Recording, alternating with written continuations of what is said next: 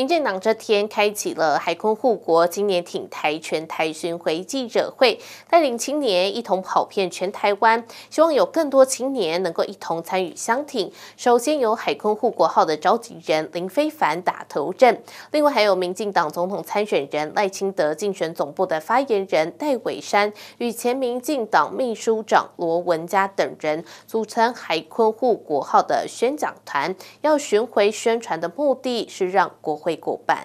海坤护国号的召集人林非凡表示，这台海坤护国号青年挺台宣传车不只是个象征，里面的设备也足够作为活动舞台的背板。在未来选战倒数三十六天，要跑遍全台五十四个选区，办超过一百场浮选宣讲。他知道在三十六天要跑遍五十四个选区，时间上很紧凑，甚至说可能连中午也要跑。目的是希望让民进党国会席次能够过半，阻止韩国瑜当上立法院长。倒数三十六天，我们希望未来这台这个护国海空号的宣传车，它上面带的讯息，呃，是希望能够诉求我们有更多守护国家安全的立法委员，而不要有更多会泄露国家机密跟泄露。国家安全资讯的立法委员，更多朋友的支持，跟一个过半国会的重要性，我们会走遍这些关键的选区，帮我们的立委候选人搭台做造势。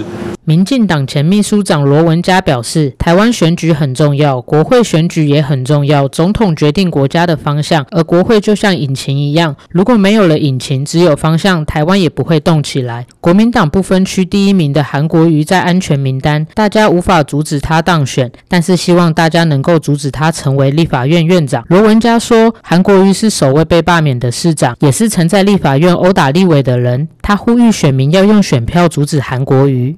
还没有揭晓之前，其实我们知道有一个人已经当选了，就是国民党不分区排名第一名韩国瑜。我们有能力阻止他成为台湾的立法院院长。第一位县市首长被罢免，直辖市市长被罢免。他不仅创造这个样的政治史，他同时也是中华民国台湾立法院第一位。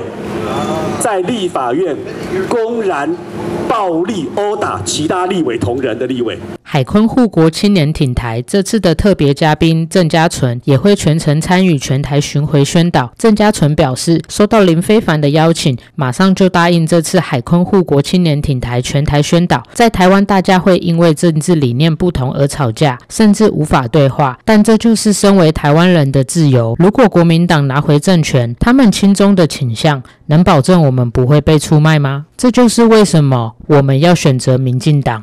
有支持台派的所有人，我们想要的民主自由就是中国没有的人权，而保障的对象是不分政治色彩的。我们会和政治理念不同的人处不来，在选战期间几乎无法对话，甚至吵架。